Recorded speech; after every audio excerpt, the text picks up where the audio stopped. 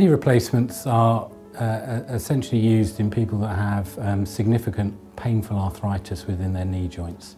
And that's to say that they have lost a lot of the joint surface, the joint cartilage has been worn away um, over the years and are left with, unfortunately, significant pain within their knee, limiting their function.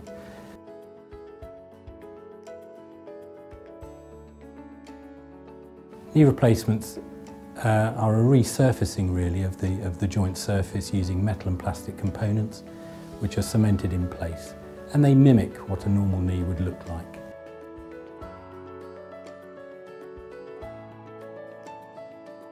When you have a knee replacement, um, you um, have a two to three day stay in hospital. Again at KIMS we have um, an enhanced recovery program to try and mobilise the knees as quickly as possible. This gives the better result uh, of the patient getting home quicker but also improving the range of motion uh, and getting them back to normal function.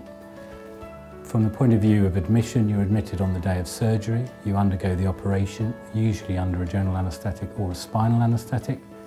Uh, we replace the worn out sections of your knee um, and then get you mobilised quickly. Um, patients go home usually at two to three days following it and you will get some physiotherapy afterwards to try and improve the range of motion. Knee replacements in general tend to be more uncomfortable than hip replacements and often the recovery is slightly slower. However, the patients that move their knees quicker and get mobilised quicker tend to have better outcomes.